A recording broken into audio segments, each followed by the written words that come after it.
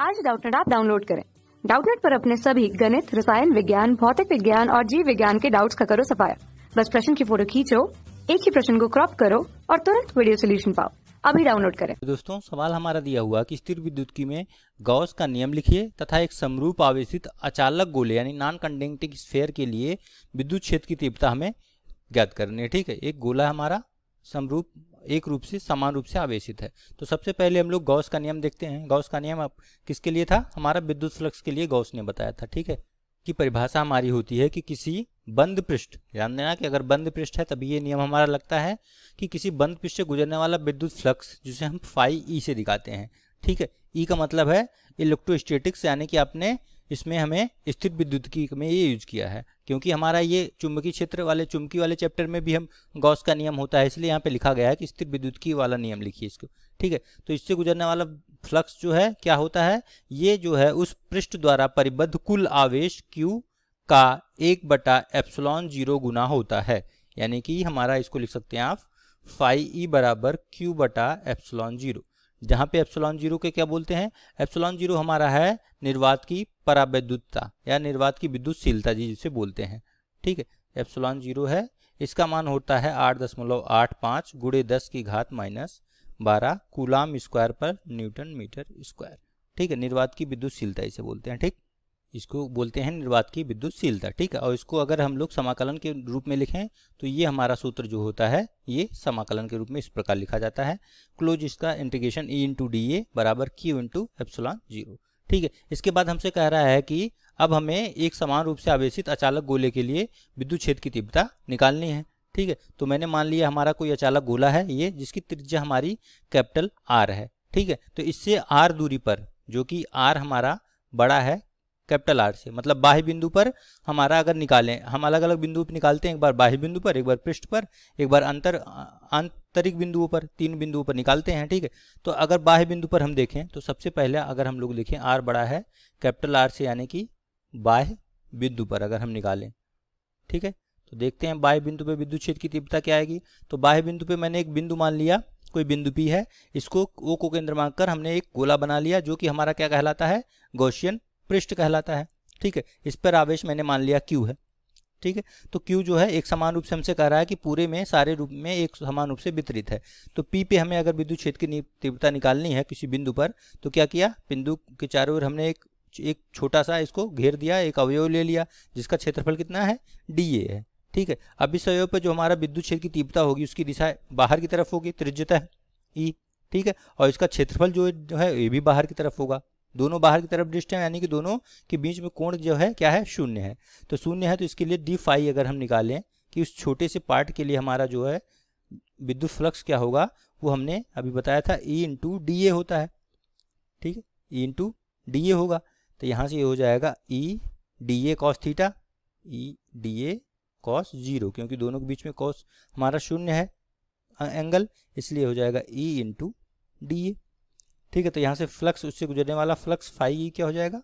Integration of E into D A ठीक है तो ई इंटू डी ए आ जाएगा। यहाँ से आपका ये हो जाएगा E into integration of D A ठीक है, क्योंकि ई e जो हमारा क्या होगा? इस पृष्ठ के हर बिंदु पर।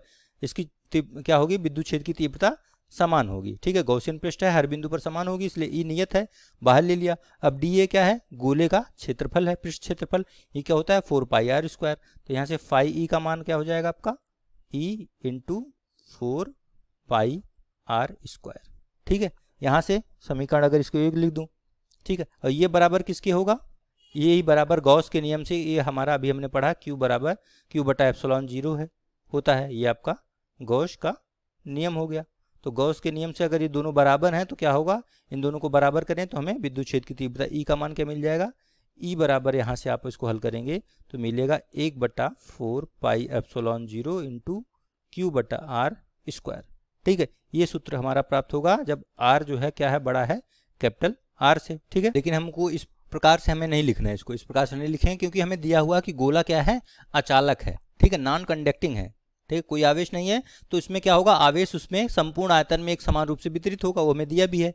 इसमें समान एक रूप से तो इसका लिए एक टर्म अलग से हम निकाल हमारा होता है आ, हमारा आवेश आयतन घनत्व जो होता है रो रो से डिफाइन करते हैं इसे बोलते हैं आवेश का आयतन घनत्व। इसके पदों में हम लिखेंगे आवेश का आयतन घनत्व। ठीक है ये बराबर क्या होता है? क्यू बटा आयतन उसका। ठीक है तो यहाँ से क्यू बराबर क्या हो जाएगा आपका? ये हो जाएगा रो इंटू आयतन। गोले का आयतन क्या होता है? ये होता है चार बटा तीन पाई आर के घाते तीन इंटू रो तो यहाँ से क्यू की जगह ये वैल्यू हम लोग पुट करेंगे तो इसलिए हमारा ई का मान ये ना के बदल किया जाएगा। क्या आएगा? देखिए, यहाँ से ई बराबर आपका हो जाएगा एक बटा चार पाई एप्सलॉन ज़ीरो ये पहले से था, अब क्यू की जगह हमने रख दिया चार बटा तीन पाई आर के घाते तीन रो बटे आर का स्क्वायर ये था हमारा, ठीक है? ये हमारा आया था यहाँ पे दो से हमने ये लिख दिया। अब देखिए, चार पाई से तो चार पाई कट गया। ऊपर क्या बचा यहाँ पे? यहाँ पे देखिए, आर क्यूब बचा, और यहाँ बचा रो, और यहाँ पे तीन epsilon zero into R square बच गया।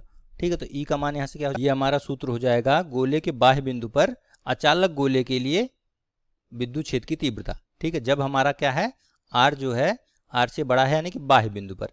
तो बाह्य बिंदु के लिए तो सूत्र हमें मिल गया। इसी प्रकार हम लोग क्या करेंगे? अगर पृष्ठ पर निकालें तो गोले के पृष्ठ पर क्या होगा देखिए? दूसरा पॉइंट अगर हम देखें कि गोले के पृष्ठ पर तो पृष्ठ पर क्या होगा हमारा? पृष्ठ पर स्मॉल आर जो कैपिटल आर के बराबर होगा। ठीक है? तो ये मान हम लोग इसमें समीकरण में रख देते हैं। ये मान लीजिए, पिछला कौन सा समीकरण था? दो था। तो ये तीन ले लेते हैं। समीकरण तीन में रखेंगे तो समीकरण तीन से क्या हो जाएगा आपका? समीकरण तीन से। ये मान रखिए इसमें रो बटा एप्सलॉन ज़ीरो होगा ये तो और आर क्यूब ये है स्मॉल आर की जगह आप क्या रखेंगे? कैपिटल आर का स्क्वायर हो जाएगा। ये आर स्क्वायर ये कट जाएगा, बचेगा, एक आर बचेगा तो यहाँ से ई का मान क्या हो जाएगा? ई बराबर आपको यहाँ से प्राप्त हो जाएगा, रो बटा एप्सोलॉन ज़ीरो इंटू आर बटा तीन।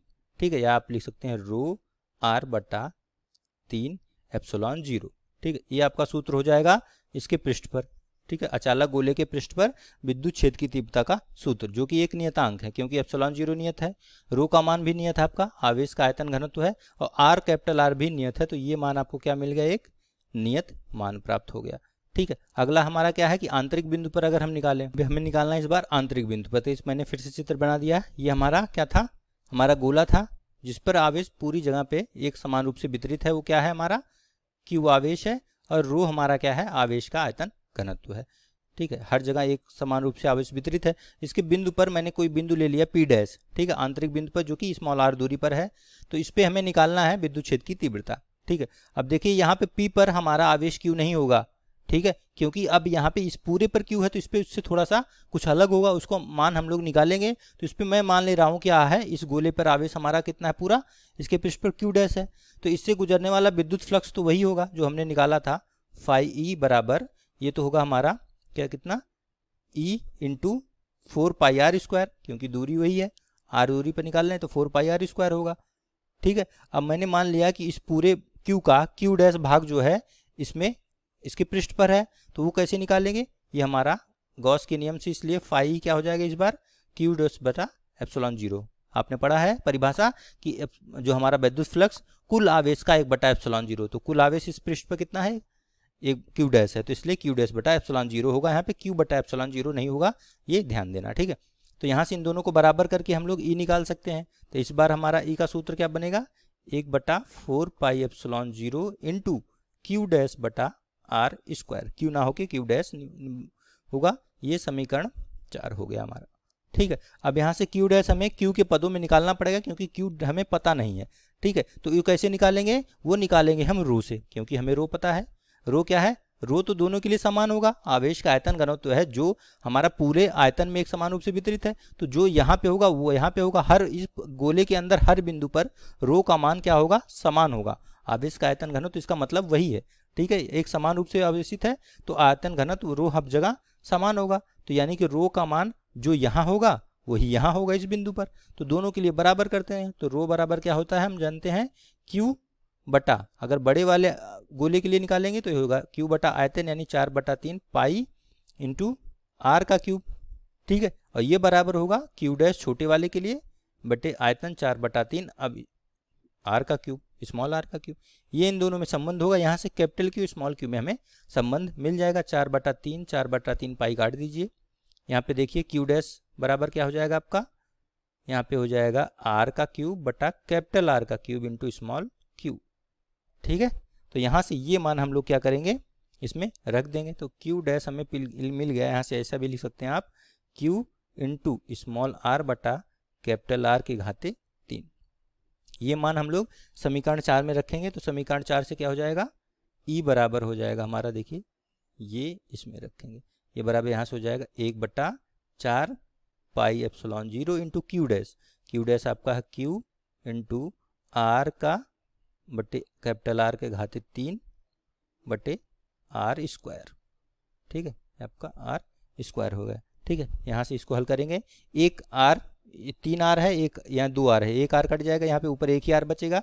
ये हो जाएगा आपका एक बट्टा फोर पाई एप्सलॉन ज़ीरो। यहाँ क्या बचेगा? क्यू एक बचा और एक आर बचा और नीचे आर के घाते तीन बच गया।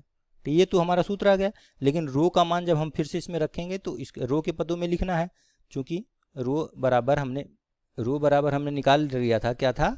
हमारा सॉरी क्यू बराबर रो के पदों में रो इंटू चार बटा तीन पाई आर क्यूब था। ये मान हम इसमें रखेंगे और रो के पदों में हम लोग इसका विद्युत क्षेत्र की तीव्रता का परिमाण निकाल लेंगे आंतरिक बिंदु पर। हो जाएगा एक बटा चार pi epsilon zero into Q की जगह हो जाएगा रो इंटू चार बटा तीन pi R cube into R बटे कैपिटल आर के घाते ठीक है? ये तो इससे कट गया पूरा। चार पाई से चार पाई कट गया। ऊपर क्या बचा?